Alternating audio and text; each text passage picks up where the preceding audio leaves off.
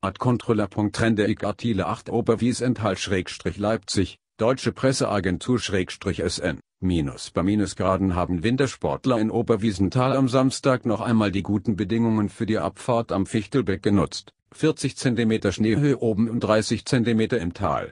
Andrang gebe es nicht es seien einige Tagesgäste und Urlauber da, sagte der Chef der Fichtelbeck-Schwebebahn Renne Lötsch der deutschen Presseagentur. Ski- und Snowboardfahren seien möglich der Rodelhang wie die Loipen aber nicht mehr präpariert. Ein bis 5 cm Neuschnee habe am Freitag die Pisten noch ein bisschen bezuckert. Ein Zwischenhaus sorgt derzeit dafür, dass es trocken bleibt, sagte ein Meteorologe vom Deutschen Wetterdienst in Leipzig. Im Flachland sei es mit Werten um 5 Grad relativ kühl für Anfang April.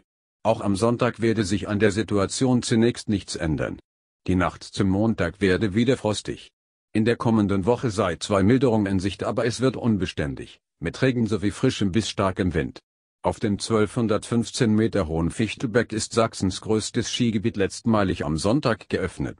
Copyright Deutsche Presseagentur Infocom Deutsche Presseagentur Doppelpunkt 2204029977039222